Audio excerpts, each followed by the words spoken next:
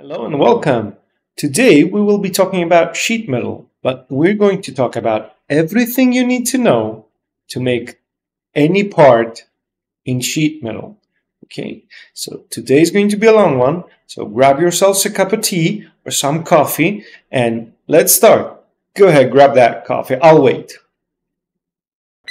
So without further ado, let's let's head over to um, Alibre. Now, in order to make a sheet metal part, you need to start a new and an entirely different uh, type of part, which is the sheet metal part. There is a caveat to that. There's another way potentially, but we will discuss that later. So we open up a sheet metal part and we are uh, greeted by this new uh, ribbon, right? These new sets of tools which are specific to the sheet metal environment. And the first thing we need to do is set our sheet metal parameters, okay?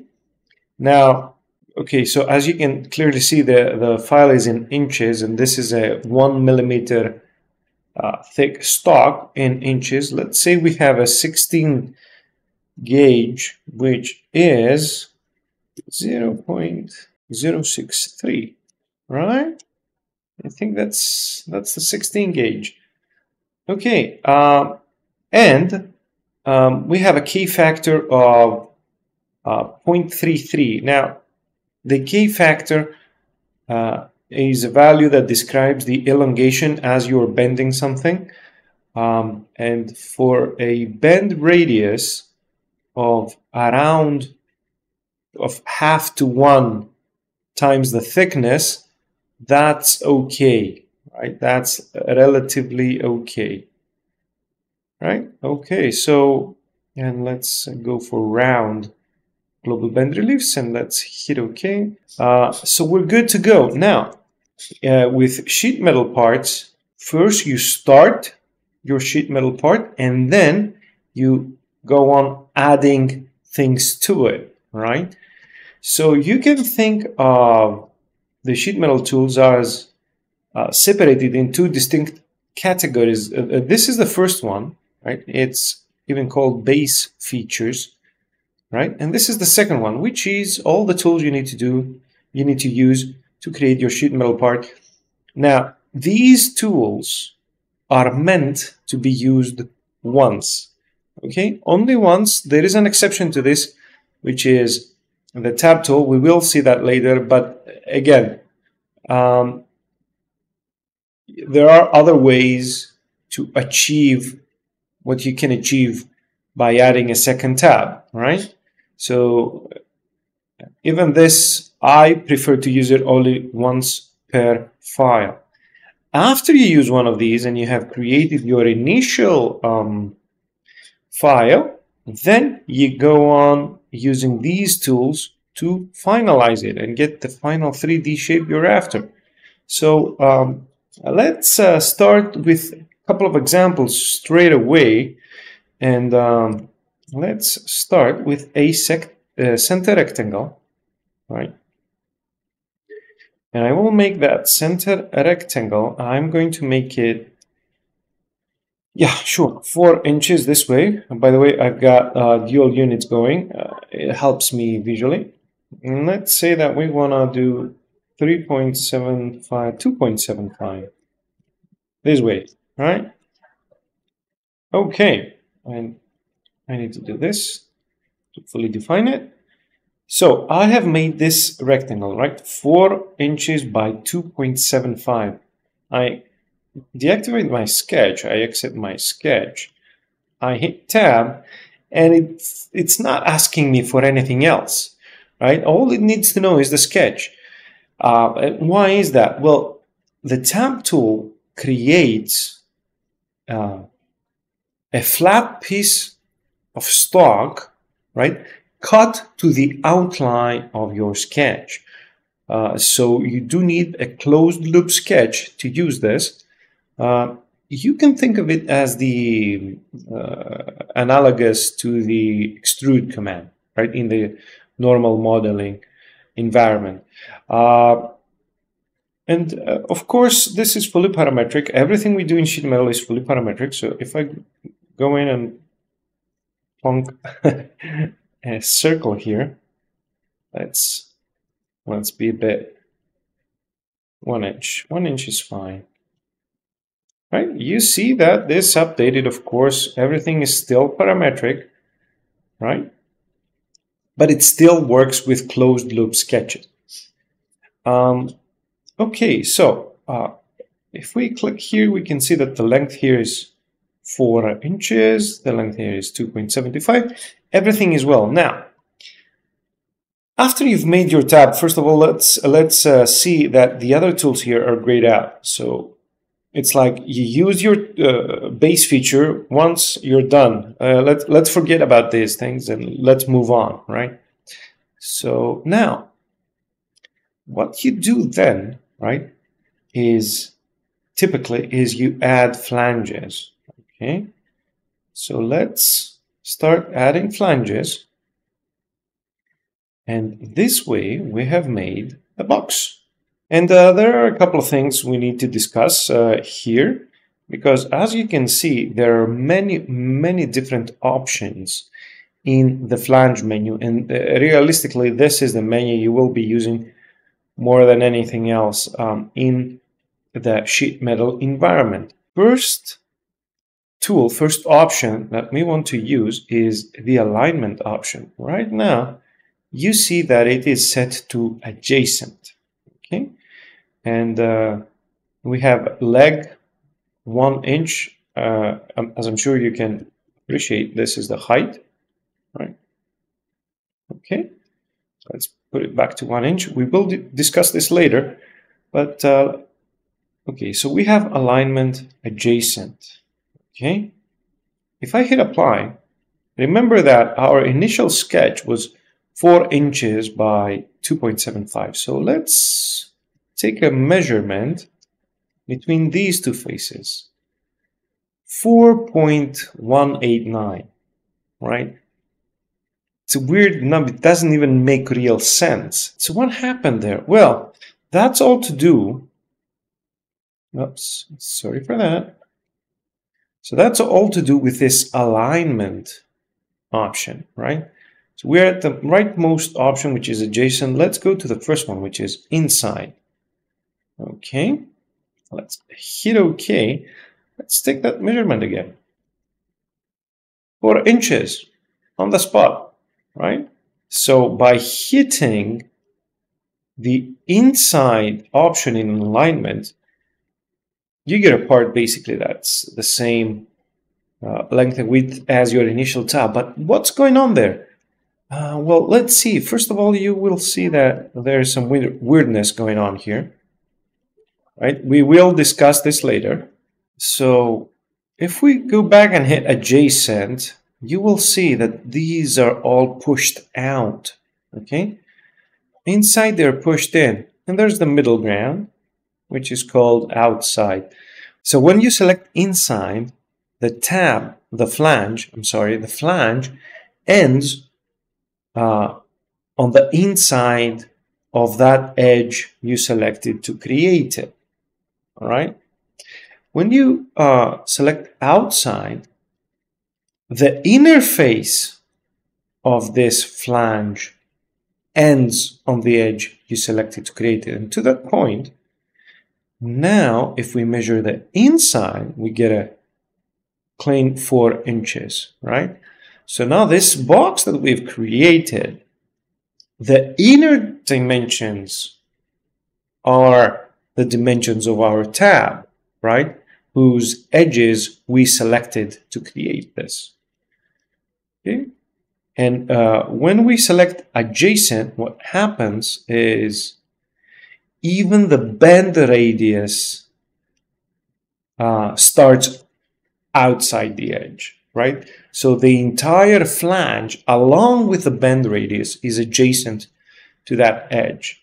And uh, you can clearly see that there are tremendous differences to the part you're going to get based on these options. Okay? Um, and that leads me to a point that you need to think about. whenever you're using the sheet metal environment. Okay, so the sheet metal environment is between the CAD and CAM universes, right? It is a bit computer aided manufacturing and manufacturability of the part you're designing comes into play very significantly in the sheet metal environment. Now, Alibre will allow you to create parts that are not manufacturable, and it will allow you to come in later and uh, correct them, but up to an extent, right?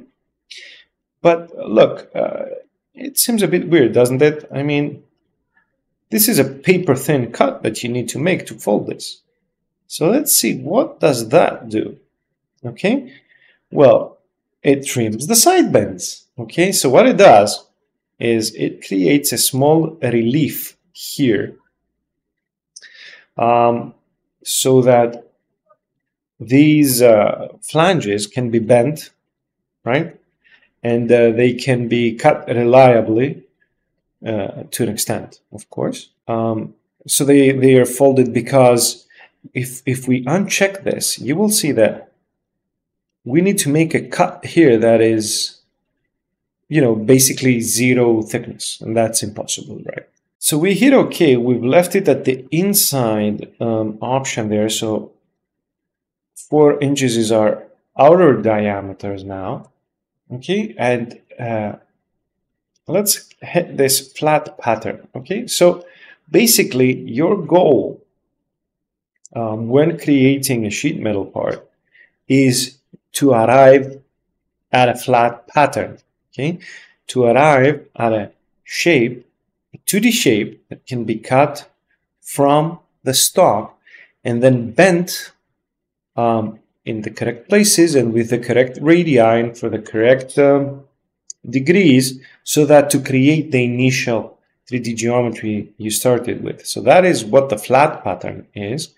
And this is also, to an extent, this is a tool for verification as well, because if you click on this, and it doesn't unfold, it means that you've made a mistake. it means your part cannot be created uh, with sheet metal fabrication techniques, right? Okay, now, and we've talked about that as well. Okay, now let's uh, delete that, right? Let's make a, a new flange. Let's use these two edges now. We've, we've, we have uh, the same options. We've, we've left it with the same options, right? Have our trimmed bend here. Okay. And uh, let's go and measure the height. Okay. So we have an, uh, a height of one inch here. Okay. Let's measure from here uh, to this top surface. And sure enough, this is not one inch. This is 1.063 inches, okay?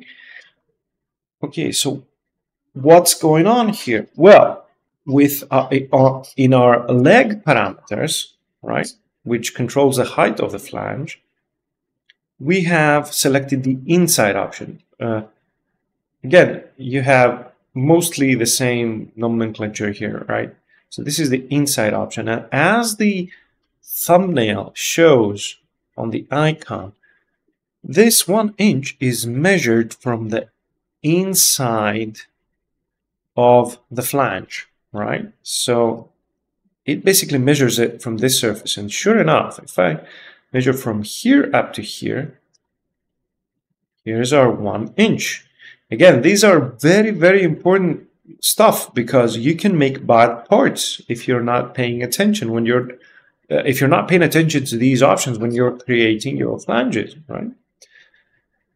Um, now, if we want our box to be an overall height of one inch, we should select the outside option for the leg. Okay, now it's measuring it from the outside of flange and we click here and there's our one inch. And finally, we have this final option which says tab, right? So what it says is that the tab will be one inch. Now, this edge, so after the, the, the, the bend ends and up to the edge of our flange, that's where we get the one inch. Right here, here it is. Right, so that's where we get the one inch. Let's uh, let's see. Yeah, there you go. That's our measurement. Okay. So when we want one inch of flat stock on our flange, that's when we select that.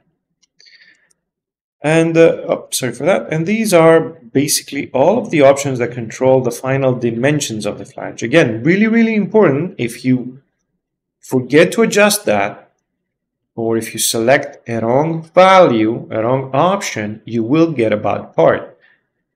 Very, very important. But you see that there are two more tabs here. So let's go to the second tab. Well, bend relief, uh, the, this is the width and the depth of the relief. Uh, we did send that, uh, we did set that um, in the sheet metal parameters at the start, but we can override it here, um, you know, individually for this specific flange command. And we have an option that says corners. Now look at this. This is a bit weird, right? doesn't really look nice or symmetric or whatever.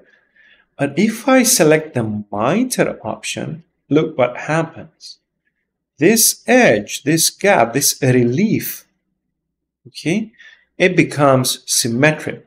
It is shared between the two adjacent flanges. And I can even set the gap, right?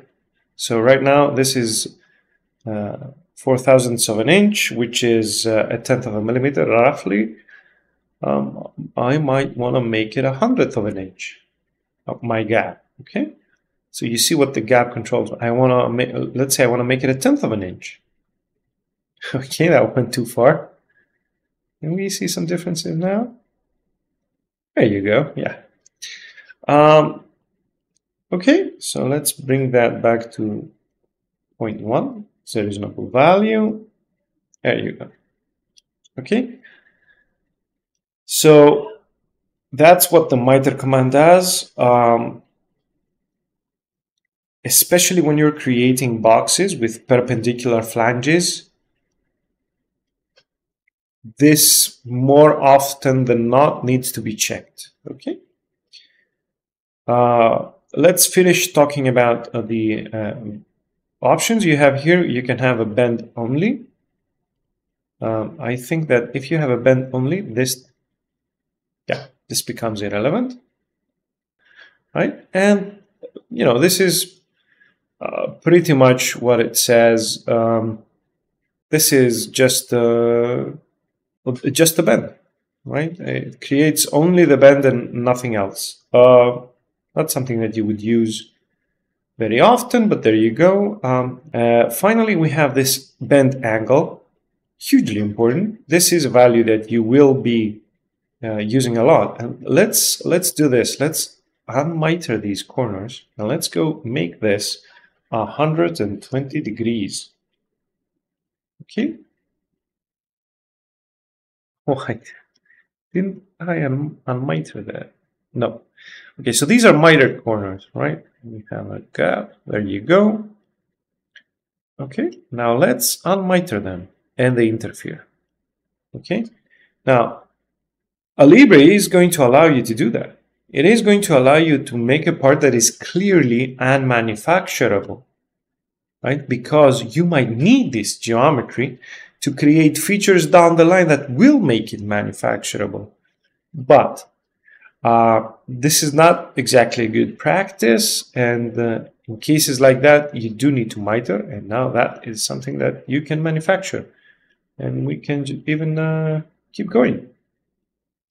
Adding flanges all around and getting this part, okay?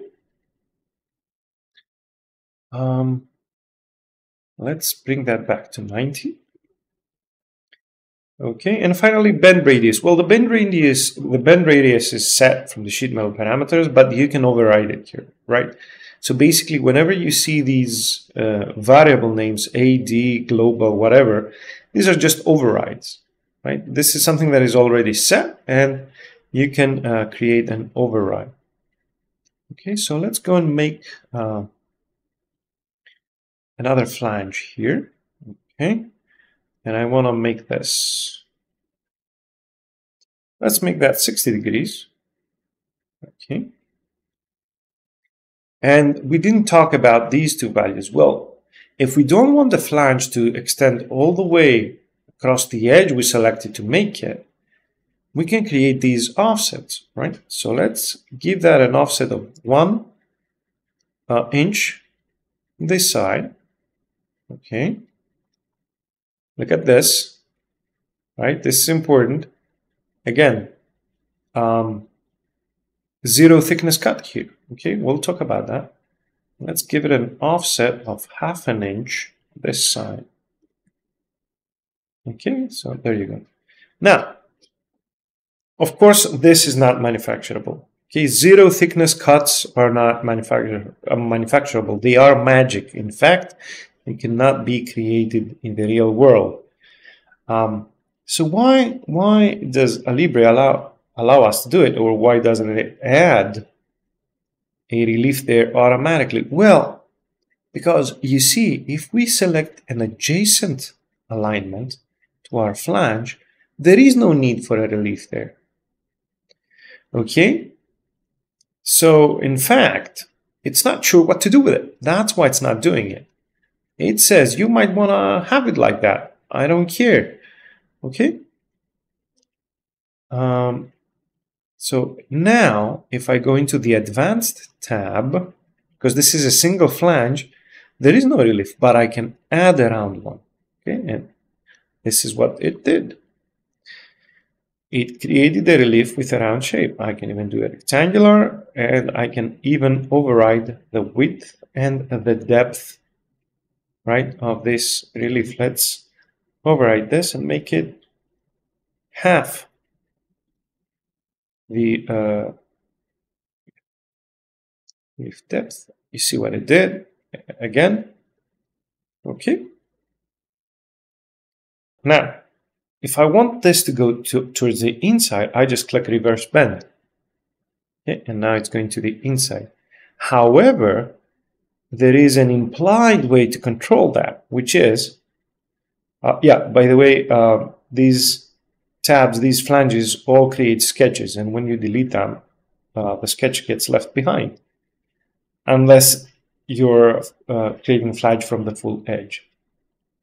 So if I want to create a flange that goes towards the outside, right? I just click the outside edge. Let's unreverse it. I just click the outside edge. Now, if I click the inside edge, it will go towards the inside. So there is this implied way to control uh, where your flange is going to point, basically. So we did this, and now I want to create another flange here. Okay, that's fine. And I want to create another flange here, and I want to make that, I don't know, let's say 120 millimeters. Okay. Okay, so I have a 3D shape here. Okay. Is that manufacturable? Spoiler alert, it's not. So let's let's do our little check that I was talking about earlier. Let's hit flat pattern. Well, when you hit flat pattern, it will unfold, but you can clearly see that there is uh, overlap here. Okay, this is not creatable. You cannot cut this out of a 2D uh, sheet of stock, right? Out of a flat sheet of stock in such a way so that you follow these bends and you get this 3D geometry, right? And the offending piece is this one. This is the one that if you unfold it, it will uh, interfere. So if I delete that part, I'm good to go. If I, right, you see that now, well, we still have a, we still have a uh, zero thickness cut, Yes, we do. And you can take a look at it here. So let's go in. Oh, we do have a relief. Well, what's going on there? Let's trim the side bends. Okay. We need to trim the side bends. Oh, still, still have it.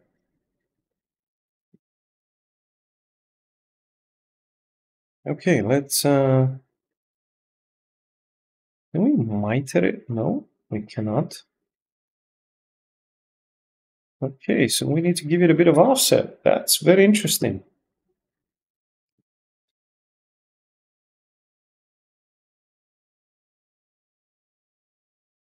Oh, we need to give it an offset that is equal to the stock. Okay, so we need to find our AD thickness. AD thickness, okay. That's, yep, that works. Now, this whole ordeal I just went on screen with you uh, shows that you need your utmost attention when creating sheet metal parts.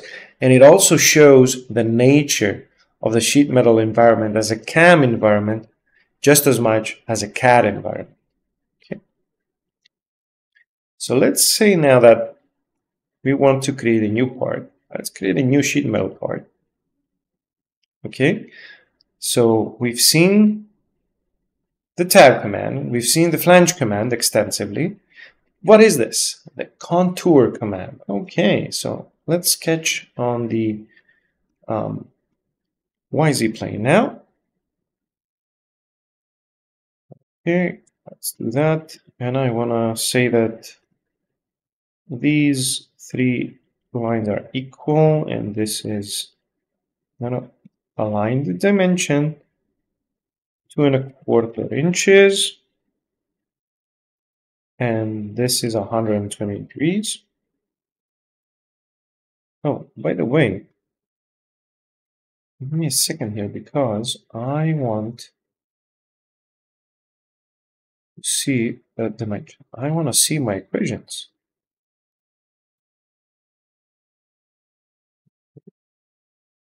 There you go. So now I can make this A1 and we're good to go. I hit OK. Well, this is an open line. What can I do with it? And you can clearly see there are no bend radii here, sharp corners. Well, if I click on the contour uh, command, what it does is it interprets my sketch and creates a sheet metal part out of it. Okay, and you will see here that this is my sketch. Here's the sharp corner. It created a bent radius so that it's tangent to the line coming in and the line flying off of that corner. And it's done the same thing here. Okay, here interpretation was done on the inside. Um, and we have quite a quite a few more options here. First of all, we have the option to reverse the thickness. So it's so so the thickness is over our sketch. The sketch now follows this bottom side of the thickness instead of following the top side of the thickness as it did before. This is the depth. Uh, we can even create a mid-plane, right? And let's say that we want this to be two inches. Two inches is fine. Okay. And the rest of the things you can see here are overrides. Okay, so this is the bend radius, K factor, whatnot. Uh, plus, I haven't hit OK yet, but you can see in the Design Explorer what's what. It has created a tab, and it has created two flanges out of that tab. So, selecting which linear figure is the tab can be done automatically or you can select it manually. Now, um,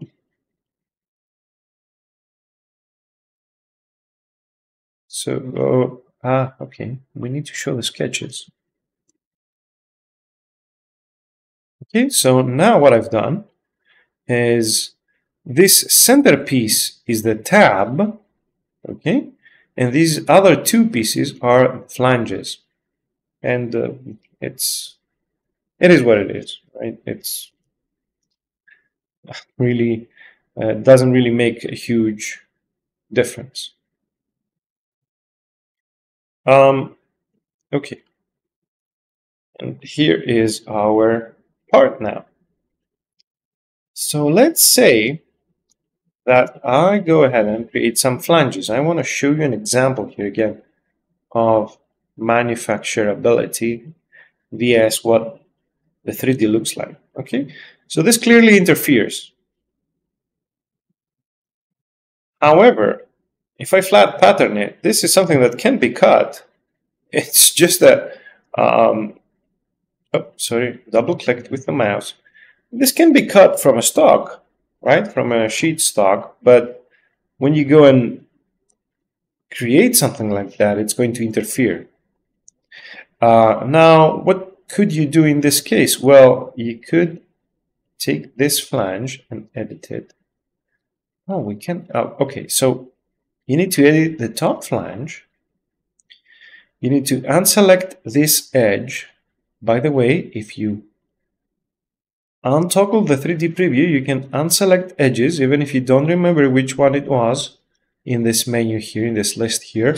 And this also works in fillet and chamfers. And it's very, very useful there. Okay, so I unselected that. I'm going to go uh, in and make a single flange here. But now the global bend radius, right? I want to make it twice sorry, twice the AD thickness. Okay. What did it do now? Well, now it flies off. Oh, okay, we we're still getting some. Uh, we're still getting some uh, interference here.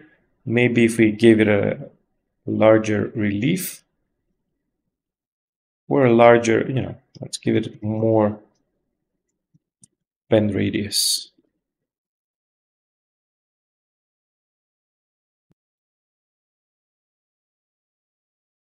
It's, this is the correct way to do it. I need to, yeah, I need to do it up here. There you go. Now I can overlap these two flanges, but you see, I had to go in and tell it exactly what to do. Again, this is as, mu as much as it is a, a CAD system, it's also a CAM system. Okay, so we have this option to do it like this if we so desire. Well, unflatten, uh, it will flat pattern, of course. Um, you can see the different cut you need to take up here. And uh, that's that. Okay, let's delete this. Let's go back and add this flange back. There you go. So this is unmanufacturable, but then we can go, come in here, miter everything. Look at this. No interferences, right? But now the flat pattern interferes. Okay, this flange interferes with this flange. Again, you need to be very, very careful, right? It takes a lot of experience to design sheet metal parts, but if you don't have that experience, keep pushing that flat pattern button. Okay, make sure that uh, you get the software to tell you if something can potentially go wrong. Okay. By the way, this might actually be a very nice example for the tab. How can you add a second tab? Okay, so let's add this flange. Um, let's hit OK.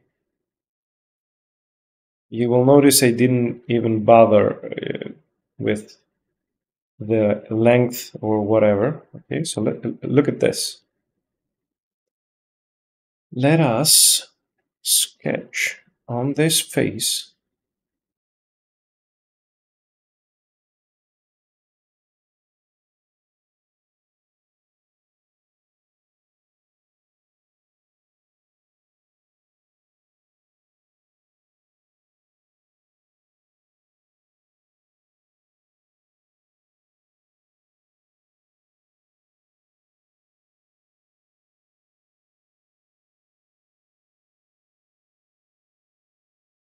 Okay, so I got this sketch now. What if I tab it? Let's click OK. So now I created a cover for, for, for this entire side, right? Let's uh, pattern it.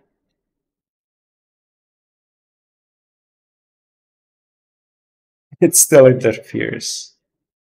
It still does. Oh man. So again, that's not a good way to do it either. But you saw that the tab can be incorporated at a later time if you want to do something like that. Okay, so we're here. Um, I want to show you something else. Um, we can create a sketch and drive a bend from that sketch. However, we need to do it in a very uh, specific way. Okay, so the way you do it is you click sketch bend. Okay, you you can see that you have the same alignment um, options as you did before. Plus now you have another one called center. When I'm creating sketch bends, I usually go for that one. Uh, bend angle, well, bend angle, let's say 60 degrees this time.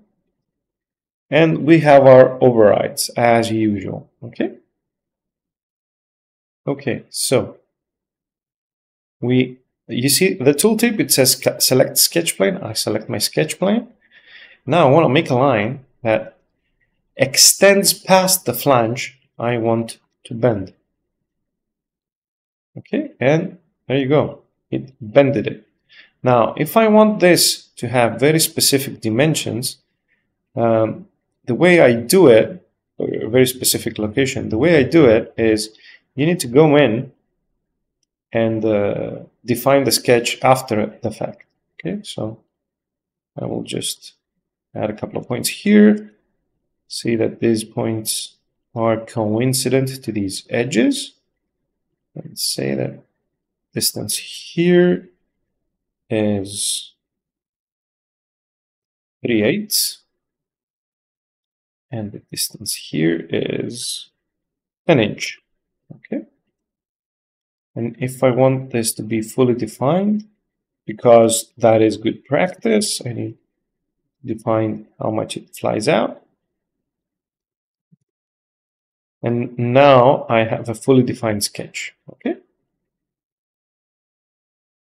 And I still have my bend here.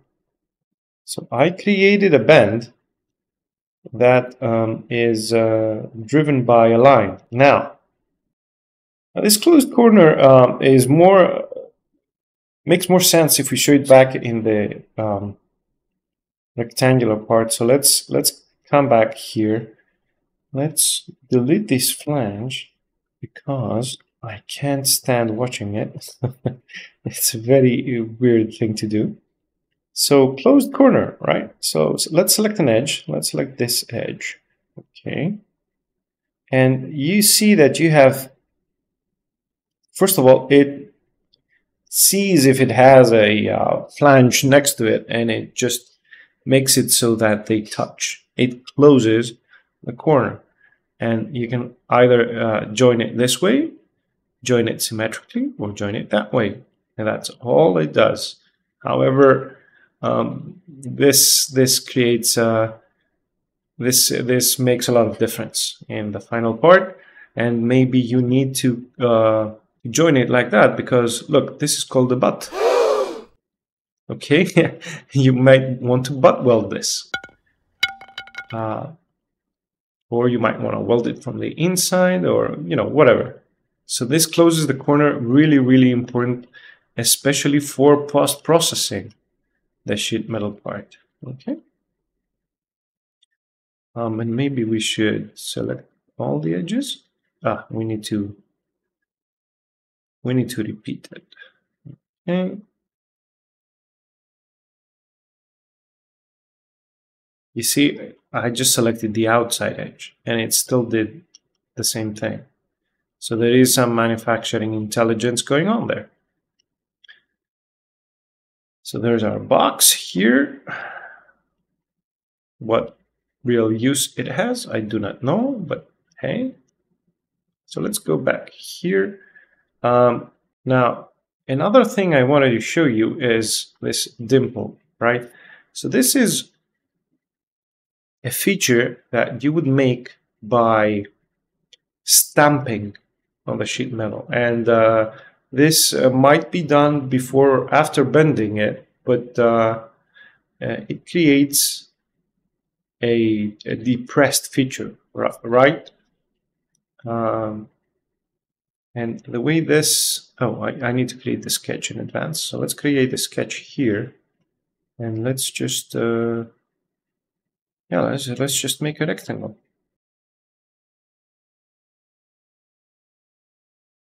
I'm not even going to place it. Okay, so I have a sketch here. Let's create our dimple.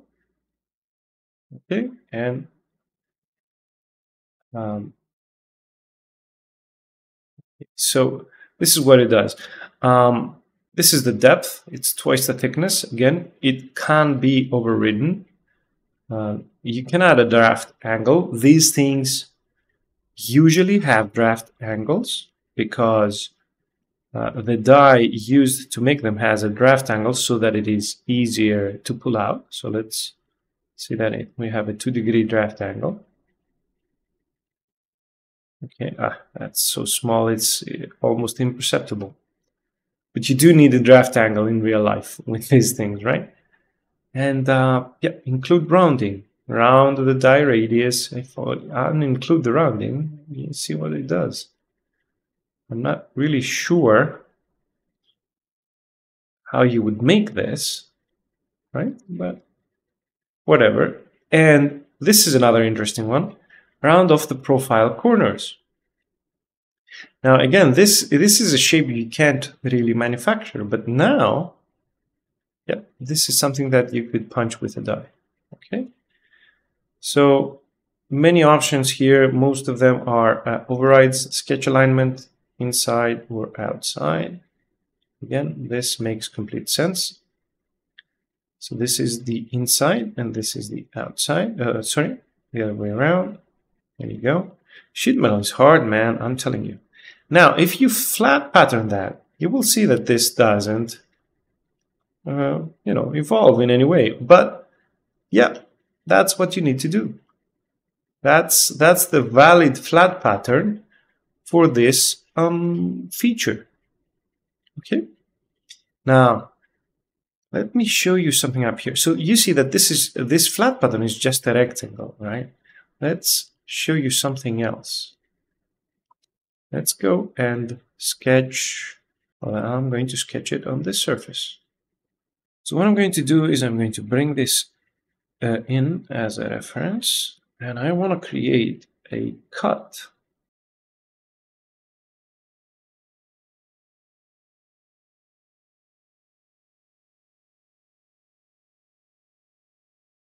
So let's create a cut. Um, through all. cut it up here, you see that. Okay. Now let's flat pattern that. And here's our cut. Okay, so anything you do will propagate into the flat pattern. So we, we've talked about all of the tools that uh, are used to create sheet metal parts. Um, these corner round and corner chamfer, well, basically they work exactly the same way as they do in the um, uh, modeling environment, right? So if we give this chamfer, you will see that it's actually even the same, right? The same form.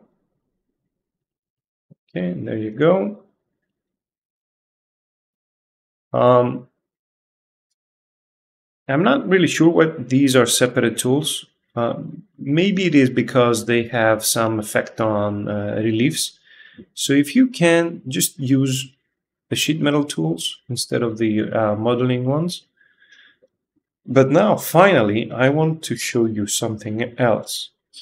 So let's open a part here, right? Um,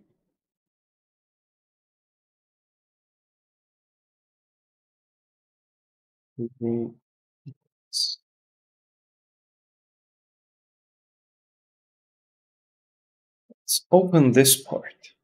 Okay, and this is not a sheet metal part. It's a standard part. Okay, it's uh, a loft created out of two hexagons.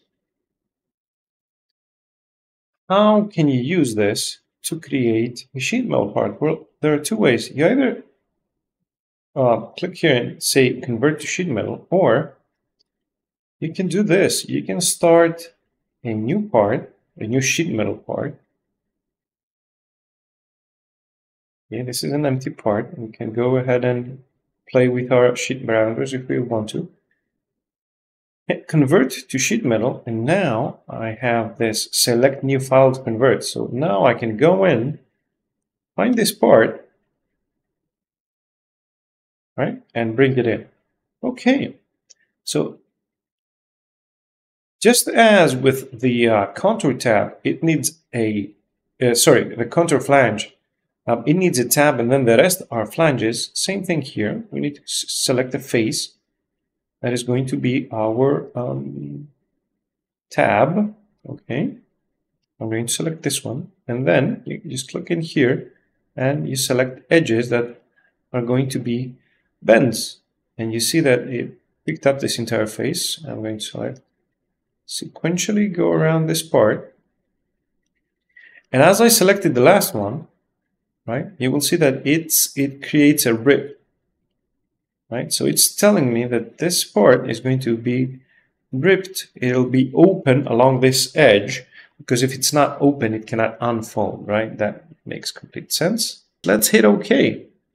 Okay, so we got that part. And now if we click flat pattern, this is what it unfolds to.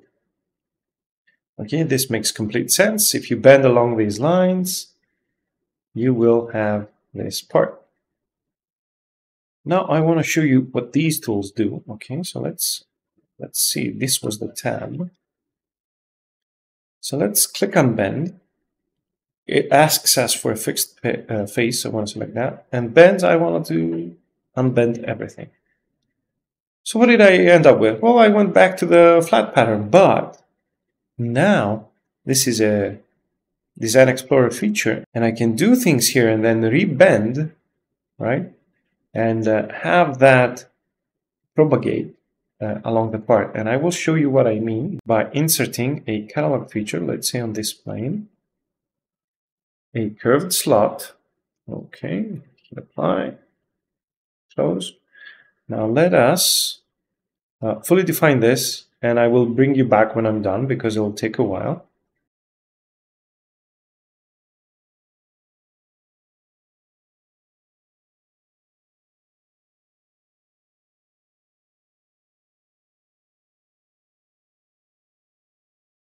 Yeah, let's say that this is the sketch we want uh, to achieve. Let's do a cut.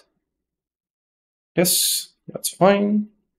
And now I'm going to click on rebend, select all the bends we unbent, okay, and hit OK.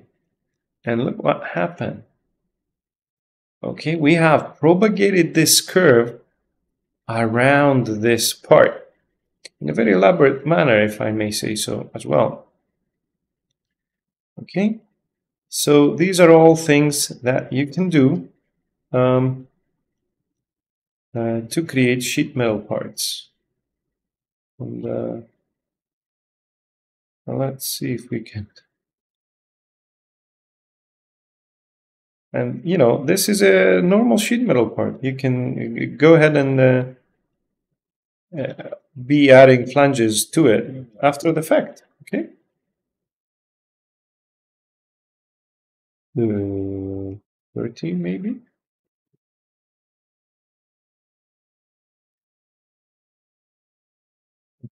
There you go. Unfold our flat pattern and these flanges have been added to it correctly. So um, that's it for sheet metal parts. Um, I hope I covered everything. If you have any questions whatsoever, uh, feel free to ask them uh, down in the comment section. And uh, Um, I'd love to know what uh, sheet metal parts you've made with uh, the tips and tricks um, um, I showed you on this video. Uh, if you liked it, hit subscribe for more videos like this. Um, hit the like button. And if you didn't like it, hit the dislike button because I still need to know. Uh, and um, I hope I see you in the next one.